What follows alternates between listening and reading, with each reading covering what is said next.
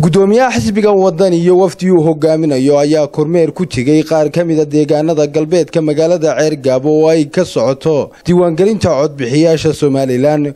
Gudoomiyaha iyo wafdigiisa oo ku guda jira safarkii samawade sanaag ayaa deegaanada uu booqday waxaa ka mid ahaa deegaanka dayaxa goob iyo doonyaha. Gudoomiyuhu waxa uu warbixino ka dhegaystay mas'uuliyiinta goobaha diiwaangelinta codbixiyaasha ee uu kormeerka ku tegey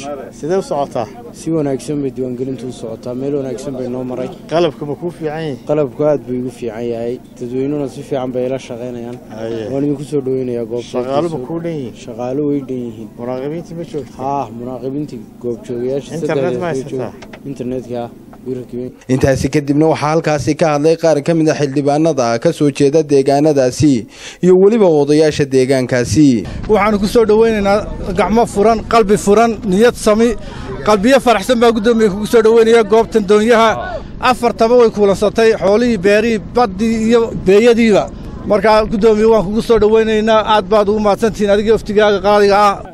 Anigu afkeeda ku hadlay waa idin soo dhoweynaynaa waa idin soo dhoweynaynaa gacmo furan baan idin beesha wax socda diiwaankii waa nabadgelya ka socota waa ku soo dhoweynaynaa waxaan salaamaynaa halka guddoomiyaha ciro wafdigiisa qaaliga ah ee dayaxa noogu yimi. Aad iyo aad baan ugu mahadnaqaynaa waanu soo dhoweynaynaa diiwaangelintii waa ka socotaa tuulada dayaxa iyo eriyadeeda. Dadku si wanaagsan buu noogu yimi.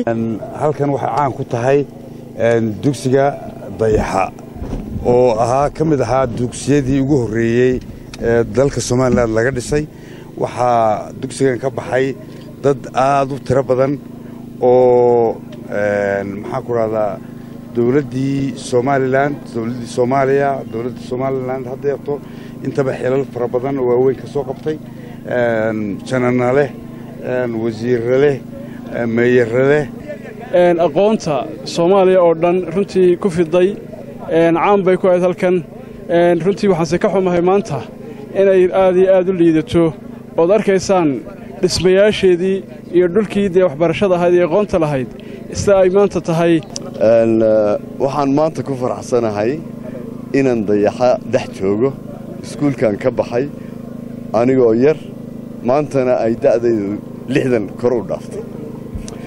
Iskuulkan dad fara badan oo soomaaliya oo arday fara badana ayaa ka baxday. Ardayda ka baxday dunida daafaheedoo dhan bay joogtaa waxna way ka yihiin kormeerkaasi kadib waxaa halkaasi ka hadlay gudoomiyaha xisbiga mucaaradka ah ee wadani ahna gudoomiyaha golaha wakiilada somalilan mudane cabdiraxmaan maxamed cabdulaahi ciro waxaanu soo marray goobta diiwaangelinta ee dayaxa oo arkayseen markii meel la dhigan laga waayey in taambuug loo dhisay. Iskuulku intuu leegyahayna waynu aragnaa iyo baaxaddiisa. Dugsigani wuu wada burbursan yahay oo meel lagaga jiraa maanta ma jirto somalilan waxay dee madaxbanadii la soo noqotay muddo shan iyo labaatan sannadooda sannadkii lix iyo labaatanaad baynu ku jiraa. Gobolka sanaag wuxuu ahaan jiray gobollada ugu ganacsiga badan somalilan dekedo nool buu lahaan jiray oo wax ka soo degaan. Ay ka mid ahaayeen xiis iyo maydh iyo laasqoray iyo dekedo kaleba. Marka ganacsiga somalilan in badan baa ku xidhnaa dekedahan ama xoolaha laga dhoofiyo ama raashin ha laga soo dejiyo. Laakiin intii ka dambeysay intaynu gobonimada dib ula soo noqonnay waxaad moodaysa gobolkani. Inuu godoon ahaa xukuumadda dee markaa jirta ayaa laga rabaa inay sinaanta gobollada hadday horumarin tahay iyo hadday kaabayaasha dhaqaalaha tahay iyo hadday xarumo waxbarasho tahay iyo hadday caafimaad tahayba la simo gudoomiyaha oo hadalkiisa sii wata ayaa sheegay haddii uu xilka ku guulaysto. Waxa uga qorshaysan ay wax ka qabanayso xukuumaddiisa marka loo eego gobolka sanaag xukuumadda waddani waxa u qorshaysan in gobolka loo soo celiyo kaabayaashiisii dhaqaalaha ay ugu horreeyeen dekedihii uu caanka ku ahaa oo ay ku noolaayeen dhammaan jamhuuriyadda somalilan waxaa u qorshaysan in xarumaha tani ugu horrayso ee taariikhiga ahaa ay noqoto insha allaahu xarun cilmiyeed xarun aqooneed sida jaamacadda camuud haddii ilahay ka dhigo. Waxaa u qorshaysan in horumarka gobollada la simo. Cabdiraxmaan axmed